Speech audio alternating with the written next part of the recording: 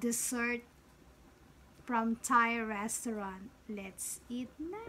So mga idol, ito yung mga kanilang dessert. This is, these are the dessert from Thai restaurant. We bought it as to go. So, ito, ang pangalan niya ay Sweet Rice Flour Coconut Palm Sugar. So, ito yan. At yung isa naman ay Yang Coconut Jelly. Ang ganda lang paktignan eh, no? I-try natin talaga kung maganda at masarap siya. ito naman ay ang Thai Tea Jelly Agar sugar, coconut milk. So, lahat siya mayroong coconut milk. Parang katulad lang sa coconut jelly naman pala yung isa. At yung isa ay coconut. So, i-try natin kung alin dito ang masarap sa tatlo. Actually, meron pa silang isa eh. Ito oh, yung kanilang ito naman ay hindi dessert. Ito. Ito ay hindi dessert. Ito ay sticky rice. Sticky rice. Sticky rice. Parang suman sa Pilipinas, pero wala siyang lasa. Halika, tikman na natin. Ito na po yung isa guys, ba? Yung nakita natin. So, ti- titikman lang natin siya.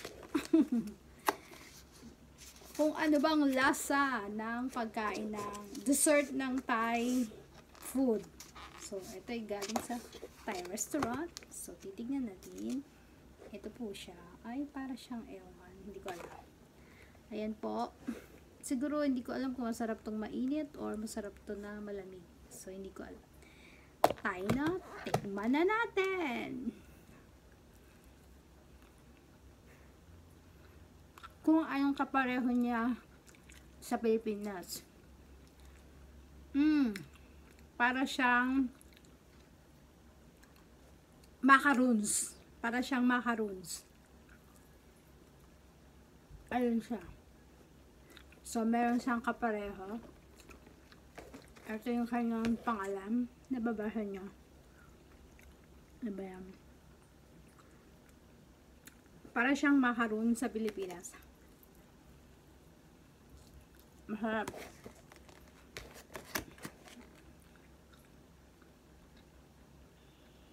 So, masarap siya. Good, good, good. Yummy. Naghugas po ako ng kamay. Kaya kinamay ko lang.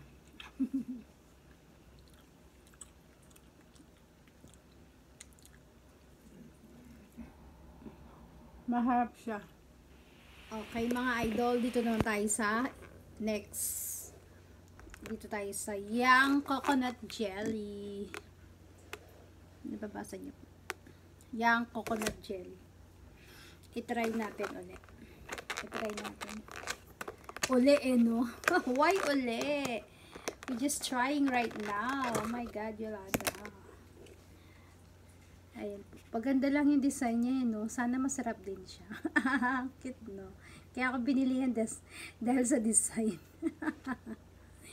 So, ito yung design niya. Ito yung Yang Coconut Jelly. Yang Coconut Jelly. Ayan, nakikita niyo po. Flower design. Ayan, di ba? Flower design. So, titikman natin i-touch. kung ano ang kalasa niya. Yung isa macaroons, kalasa ng macaroons natin. Ito naman.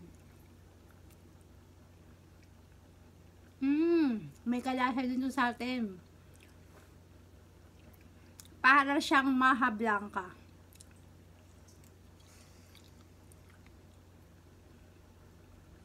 Masarap. Para siyang maha blanca. Sarap.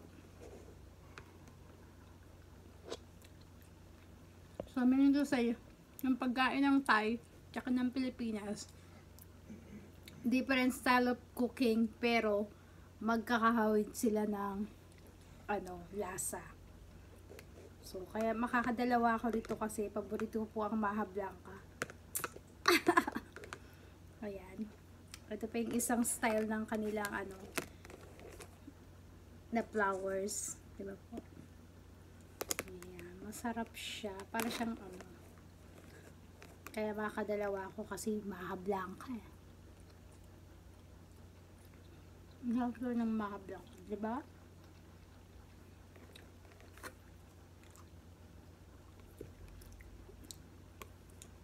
Pareho silang masarap. Maha Blanca tsaka to. Mm. Yummy dessert! Sarap. Next dessert. Ito po ang kanilang tea, ano? Thai tea jelly. Thai tea jelly. So, jelly. Di ba pag jelly, parang ano natin, gelatin sa Pilipinas. So, tikman natin ang kanilang Thai tea jelly. Uy, buti, buti na lang binili ko. Masarap pala. Yummy. Oh! Ito rin po, oh. Ang cute. Cute ng design, no? Cute kaya nabili. Ayan, ito po ang ano nila. Ayan. Mm. Atin pong tikman ang kanilang dessert. Pangatlong dessert na po ito. Let's taste it. Ano sabi? Thai Thai jelly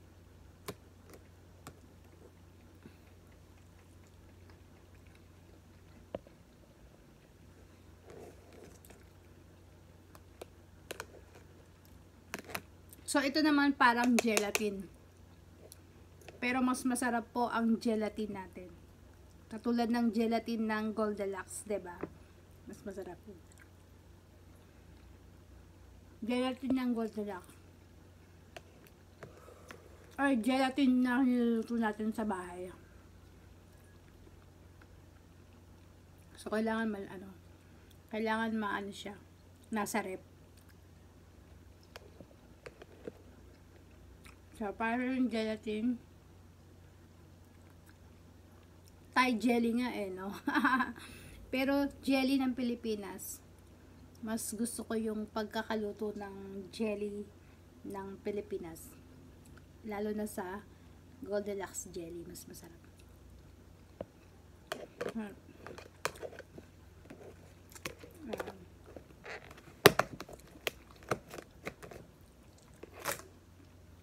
So, natikman na natin to.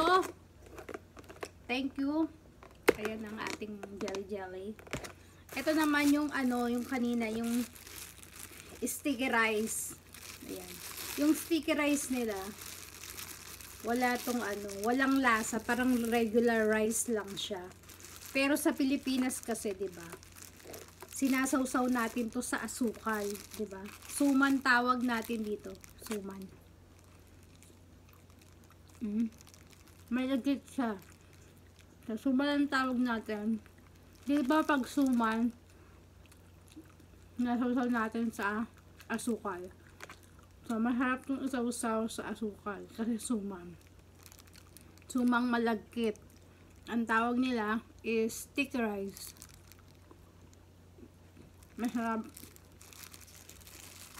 Maharap ang pagkain ng Thai food.